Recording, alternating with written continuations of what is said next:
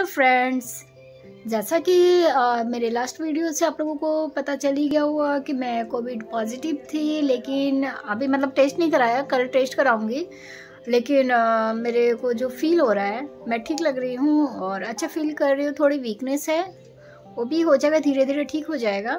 बाकी मैंने सोचा कि आ, क्यों ना मैं आप लोगों को ये बताऊँ जो पिछले साल 2021 अप्रैल महीने में मुझे कोविड हुआ था और ये जो जनवरी 2022 में जो कोविड हुआ दोनों में क्या फ़र्क रहा?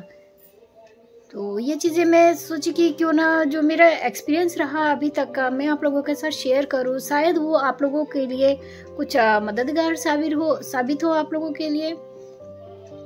तो चलिए सबसे पहले मैं बताती हूँ जो पिछले अप्रैल 2021 में जब मुझे कोविड हुआ था तो उस समय मुझे क्या परेशानियाँ हुई थी? उस समय एक्चुअली सब कुछ नॉर्मल चल रहा था। करीब एक हफ़्ते एक हफ़्ते नहीं चार पाँच दिन तक तो मतलब ठीक था नॉर्मल ही था। थोड़ी बहुत जो कॉमन सिम्टम्स होते हैं, वो चीज़ें रही थी स्मेल जाना फीवर और भी जो थोड़ी थोड़ी दिक्कतें थी, वो सारी चीज़ें। लेकिन छठे दिन मेरी तबीयत थोड़ी सी ज़्यादा बिगड़ गई क्योंकि मेरा ऑक्सीजन लेवल खांसी की वजह से काफ़ी डाउन हो गया था 92 से स्लिप करके मतलब 86 तक आ गया था। और मेरा चेस्ट इन्फेक्शन भी काफ़ी हो गया था तो सब घबरा गए थे और काफ़ी मतलब सबने सजेस्ट किया था हॉस्पिटल के लिए। तो फिर मुझे एडमिट करना पड़ा था और भगवान और आप लोगों का शुक्रगुजार हूँ। कि मैं अच्छी होकर घर वापस आ गई थी और पूरी तरह रिकवर होने में दो से तीन महीने लग गए थे। ये तो रही पिछले कोरोना की बात। लेकिन जो अभी 2022 जनवरी की शुरुआत में जो हुआ मुझे तो इसमें जो हुआ नॉर्मल मुझे हल्का सर दर्द था तीन दिन। फीवर थोड़ा था, बहुत ज़्यादा नहीं था। मतलब मुझे लगता है कि नाइन्टी नाइन हंड्रेड ही होगा, ज़्यादा कुछ नहीं था फीवर और उसके बाद खांसी थोड़ी थी।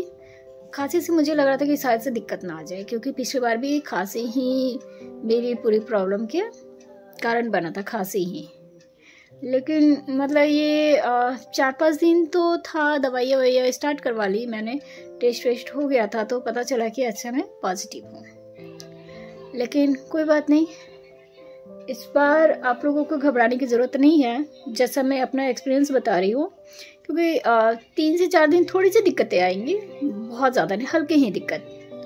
और उसके बाद आप जब टेस्ट करा लेते हो मेडिसिन स्टार्ट हो जाती है तो चार पाँच दिन के बाद से आप रिकवरी मोड में स्टार्ट हो जाते हो। और मुझे लगता है कि एक हफ़्ते दस दिन में आप ठीक हो जाते हो। तो मैं आप लोगों को यही कहना चाहूँगी कि ज़्यादा घबराइए मत, आराम से रहिए।